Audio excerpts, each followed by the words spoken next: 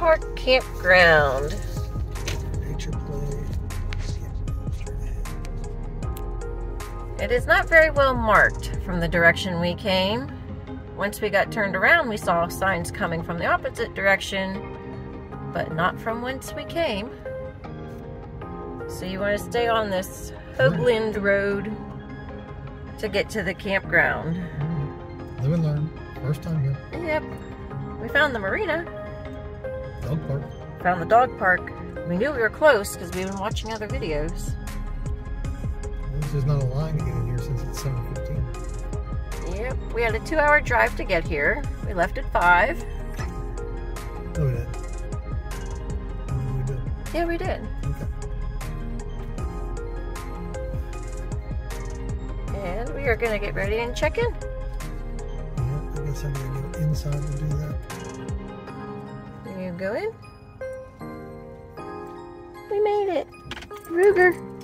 Ruger. Nope, I can pull up. guess what? Guess what? We're here, Ruger.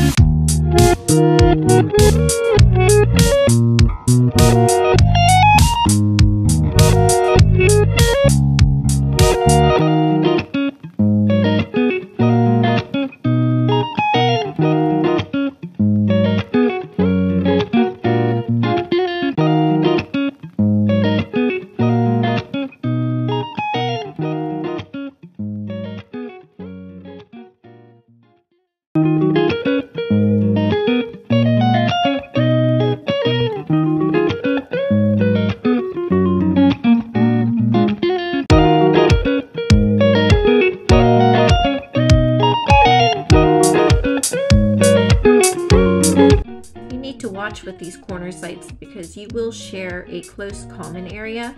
With our site, we are fortunate enough that we could move our fire ring a little farther away.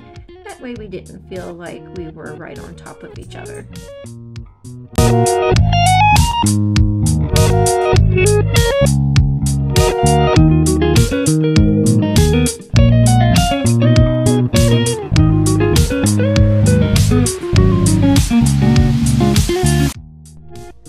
Going left at this intersection, you will be able to go down towards the marina and the dog park, but it is closed to vehicle traffic.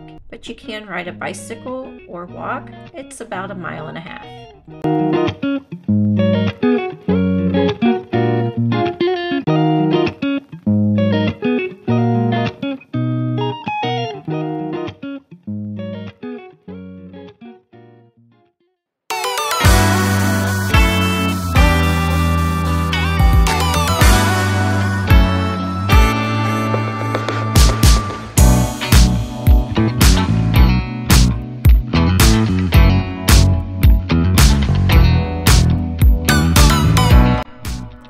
Up on the right is the natural play area tucked inside the woods there for the kids.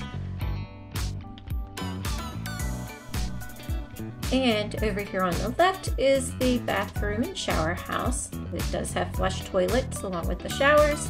It is the only one for the park. There are updates in progress going on throughout the park, but for the rest of the restrooms, they are pit toilets.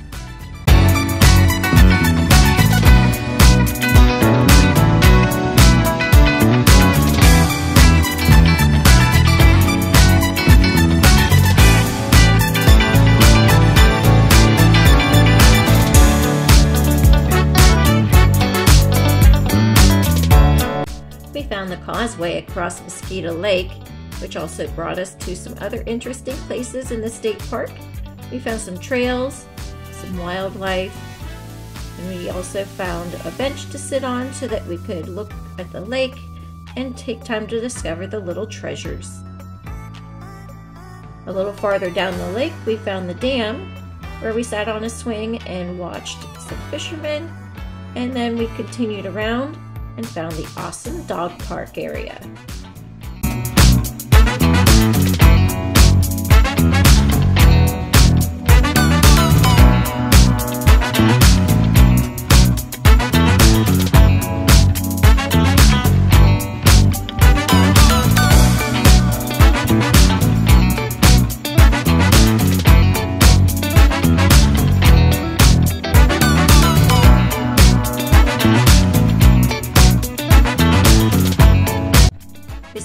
The Giraffe, our pre-K class pet. I work in a preschool classroom and every weekend, one lucky person gets to take Gerald home and take pictures and write in our little book about Gerald's adventures.